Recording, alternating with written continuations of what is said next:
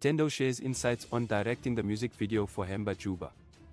Media personality Ntando Duma has opened up about her involvement in the creation of the music video for the hit Amapiano song Hamba Juba. The song, produced by Lady Amar Ntando's sister, Cici, Murumba Pitch, and JLSA, has been a huge success, topping charts and achieving platinum status. Ntando recently took to her Instagram account to share a short clip from the music video and revealed that she was responsible for directing and conceptualizing the video. In my director slash producer ERA, I had a great honor of conceptualizing and directing this music video. Thank you to everyone that was a part of it and a big shout out to Ed Chetotel Ria and everyone else who contributed in making this video a beautiful success. Literally the biggest song in the country right now. Ntando Duma, the media personality and actress, recently launched a new children's salon named after her daughter's ball.